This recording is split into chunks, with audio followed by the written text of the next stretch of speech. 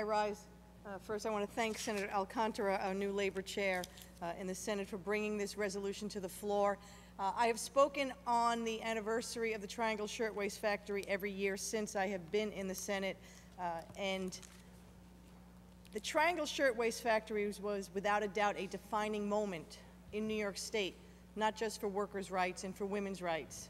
It was a defining moment for the state of New York. We became the first state to adopt factory safety standards as a result of that horrific tragedy. We were the, one of the first states to adopt labor laws that then became the model for the nation to follow. It took a few years for the federal government to finally recognize what was happening in factories all across the country and adopt standards for workers across the country. We now have a National Occupational Safety and Health Administration in Washington.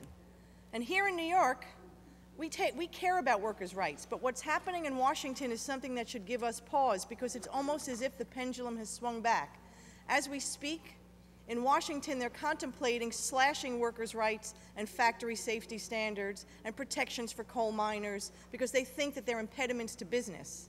So perhaps we in New York need to lead the way again and remind them of what happens when you roll back worker protections we wind up with tragedies like the Triangle Shirtwaist Factory. If we don't keep an eye on things. And ironically, a little while ago, we had two representatives from Mexico here in the chamber where we recognize them. As we speak, even though New York State is probably the safest place in the country for workers' rights because of the laws that were enacted in this chamber over the past hundred years, we have the greatest safety standards. We have the greatest work, worker protections, the greatest wage theft laws in the country. There's still an underground economy in New York. And many of the people working in that underground economy are undocumented Mexican women working in sweatshops, in factories that are underground in places like Sunset Park and in the west side of Manhattan, and they are operating in the shadows.